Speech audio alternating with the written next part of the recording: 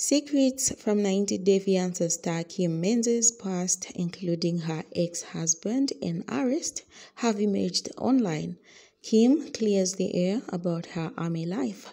Let's get into the video but before we do, hello and welcome to the channel. If you are new, you're here for the updates, go on, subscribe and turn the bell notification on.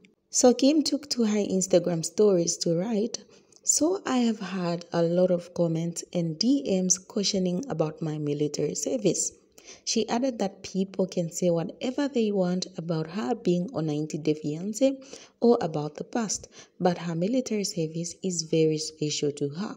For those that are concerned, I was in the army from 1989 to 1996, she continued.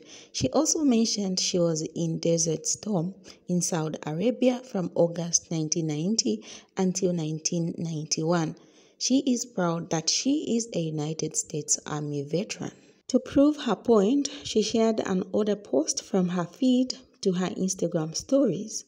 On Veterans Day, Kim posted a throwback picture of herself in uniform on Instagram and thanked everyone who was served. She was a secretary in the U.S. Army when she was just 19 years old.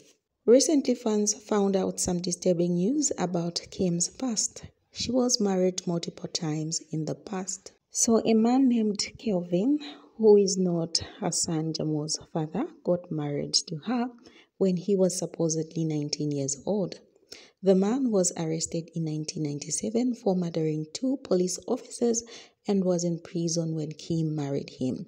The marriage ended two years later. Kim forged a check and pleaded guilty to the criminal charge. She got a two year suspended sentence and was required to pay back the $887 she forged.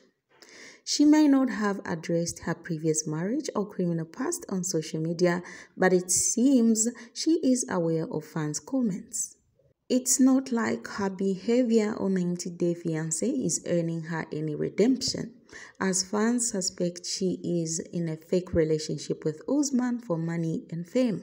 Alright, that's it. Thank you very much, guys, for watching. Do like, subscribe, and comment down below.